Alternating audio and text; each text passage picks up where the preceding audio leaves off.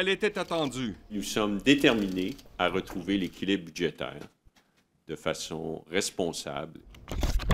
Pas avant 2030, cependant, car afin d'éviter d'appuyer davantage sur son crayon à l'encre rouge, il pige dans ses réserves pour imprévus, récupère l'harmonisation du gain en capital et amorce les coupes dans les dépenses fiscales, ce qui lui évite d'inscrire 3 milliards supplémentaires au déficit. Dès 2025, terminer le crédit d'impôt pour prolongation de carrière alloué aux travailleurs de 60 ans et plus. Il faut nous juger sur l'ensemble des gestes. Mais moi, quand je fais mon travail, je me pose toujours la question, pourquoi on a mis ces crédits d'impôt-là? Comme les travailleurs restent plus longtemps au boulot, il faudra dorénavant avoir 65 ans et cumuler des revenus d'emploi et de retraite qui n'excèdent pas 56 000 par année pour avoir droit au crédit. Il y a 200 000 personnes qui vont perdre à peu près 1 000 ça fait 200 millions. C'est dit, c'est écrit. Malgré qu'il demande à tous les ministères de respecter leur budget, ces dépenses augmentent.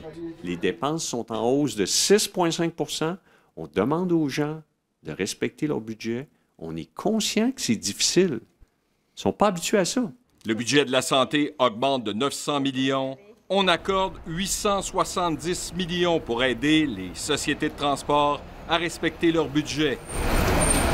Il ajoute des sommes pour venir en aide aux sinistrés de l'ouragan Déby et l'amélioration de la couverture cellulaire dans certaines régions.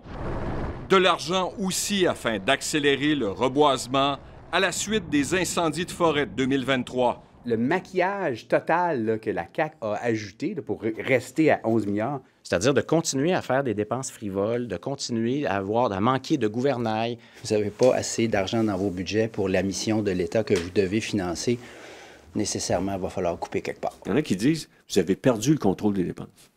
Il y en a d'autres qui disent, c'est l'austérité. Vous coupez. La vérité, c'est quoi? C'est qu'on gère de façon responsable, on investit dans nos services publics.